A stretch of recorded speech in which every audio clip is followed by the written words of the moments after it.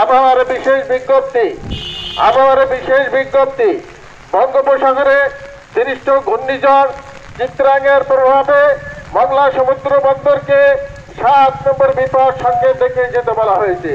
সাত নম্বর বিপদ সংকেত দেখে যেতে বলা হয়েছে। সেজন্য সর্বসাধারণকে সর্বাত্মক প্রস্তুতিমূলক ব্যবস্থা গ্রহণের সাথে সাথে আশ্রয় কেন্দ্রে আশ্রয় গ্রহণ করার জন্য বিশেষভাবে অনুরোধ করা হচ্ছে। প্রচারে ঘূর্ণিঝড় প্রস্তুতি কর্মসূচি সিপিপি শ্যামনগর সাতক্ষীরা